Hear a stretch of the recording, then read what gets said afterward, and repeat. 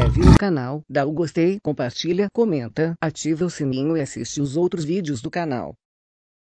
Atuações do Vitória. Treres perde chances e Rafinha decepciona em empate com o ABC. Dalton recebe melhor nota em empate sem gols no Barradão. Neste domingo, o Vitória ficou no empate em 0 a 0 com o ABC na tarde deste domingo e se complicou na luta pelo acesso na Série B do Campeonato Brasileiro. Com o resultado, o time rubro-negro segue na terceira posição, agora com 4 pontos e a 2 dos primeiros colocados. Vitória e ABC fizeram um primeiro tempo franco e com alternância de domínio entre as equipes. Do lado rubro-negro, Treres teve as melhores chances ao sair da cara do gol, mas errou nas conclusões. O time visitante também foi perigoso e chegou a acertar a trave com Felipinho. A partida seguiu animada e com boas chances dos dois lados na etapa final. Rodrigão desperdiçou grande chance dentro da área e Richardson fez Dalton operar milagre no Barradão. O Vitória volta a encarar o ABC pela Série C no próximo sábado. Desta vez, a partida vai ser disputada no Frasqueirão, em Natal, às 17 horas, horário de Brasília.